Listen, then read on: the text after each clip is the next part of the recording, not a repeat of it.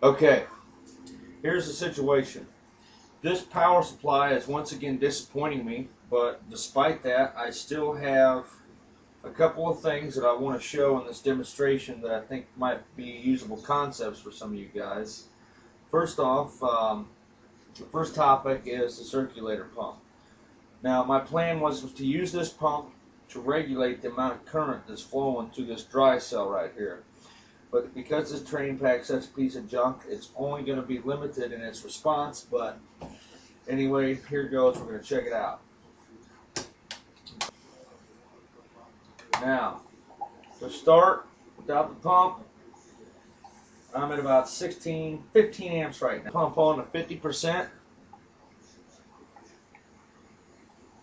That kicks my amperage up to 20 amps. Now I'm going to kick the pump on to 100%.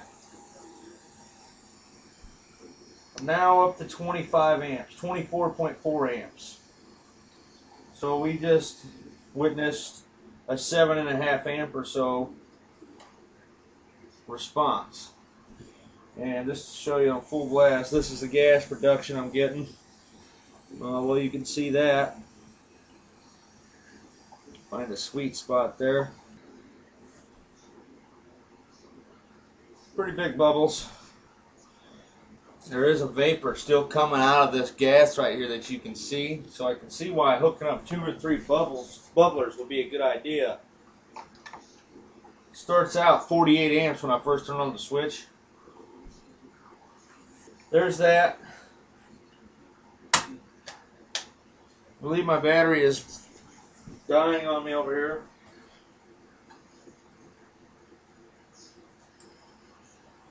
Showing that it's down at 25%, but either way, I'm going to go ahead and post this video um, just to kind of give you guys an idea of how things went.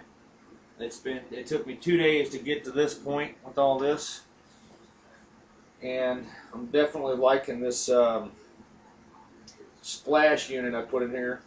I wanted to try to bring down the amount of splashing and bubbles that's taking place inside here, so don't fly up in my hose. This is just a temporary rig to bench test this. This will eventually go in my welding torch, or my hydrogen torch, I should say. I definitely don't weld with it. So I'm glad that uh, you guys with the dry cells have led me in this direction because this little thing is awesome. The cooling fins, leaving the um, plates long to double as cooling fins was just completely awesome. They totally dissipate heat. Know if you can see any of that. I don't have the fans fired up right now, but because the pump train pack can't run both very well. But uh, the C-clamp route was just to get me out of drilling a bunch of holes and I couldn't find a big enough piece of plexiglass so that's why you see the C-clamps I kind of like them anyway though they're a lot easier than drilling and they only cost about a dollar forty a piece so there it is uh, pump flow regulated um, let me know because um, I understand that there is such a thing called a PMW that you can use to run a cell but I'm not going that route. They're too complicated to build on my own, and I certainly ain't going to buy one. So for now, this little pump setup is giving me only about seven and a half amps worth of power control.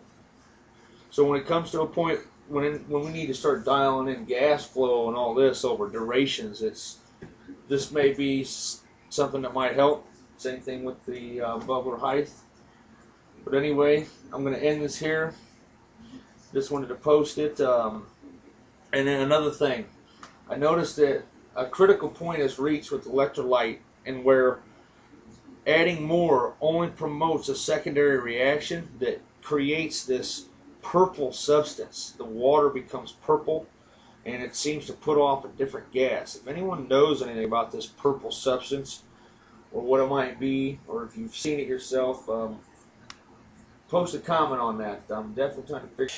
Okay, so here's two days worth. I finally got a dry cell going. I'm sick of all the transformers and diodes and all that. So what I got going on here is a dry cell that I've left the fins just a little bit long so they double as cooling fins. And I got two electrodes and four neutral plates.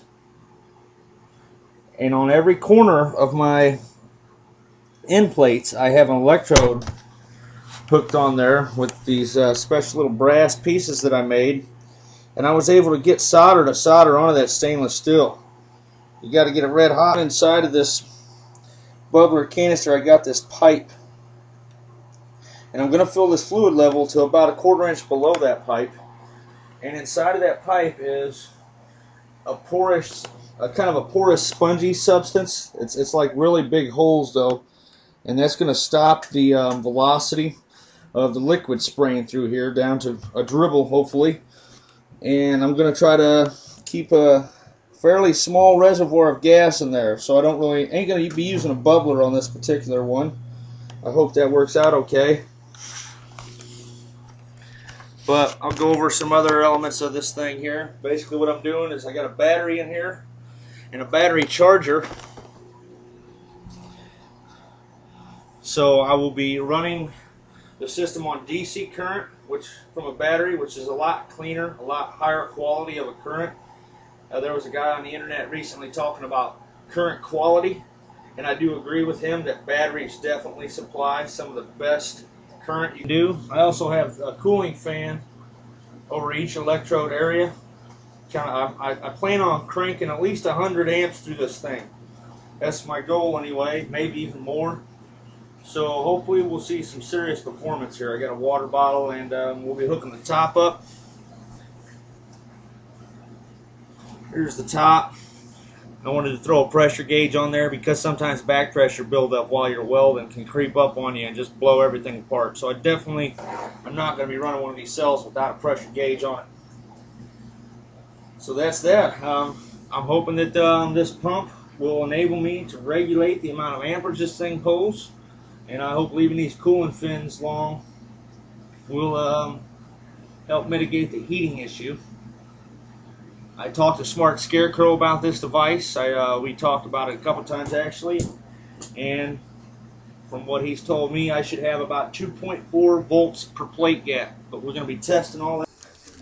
I hit the jackpot at Noonan's True Value. I got this plumber's gasket kit. It comes with uh, big old flat sheets of this that are the same size of these.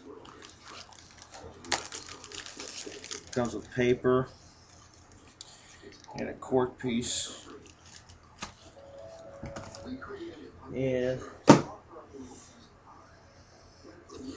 finally broke down and started on my first dry cell. This is what I did to the gasket. So you can see I made the holes crooked. I wanted that flow to kind of stagger in there to sort of force the fluid into the plates rather than just pass right through. I also left my edges long so they could double as heating fins. Or cooling fins, I mean. I'm retarded. So that's the inside of it. I'm going to be using this chopping block piece as my top and C clamps to hold together. I also forgot to mention that one of the ways I cut this stainless steel was with a pair of snips. But the way I did it was a trick that I came up with um, that I want to share with you because it really helped out a lot. Cutting stainless steel is some dirty business. So what I did was I took the snips and put the metal inside of there and then put this part of my snips in the vise and just crank the vise closed and it just snaps right through it. So I just wanted to share that with you because that definitely was a pretty cool thing that I found out. Um, saved me a lot of time and trouble and I didn't have to breathe any nasty vapors. And I wanted to get some shots of this before I mount it.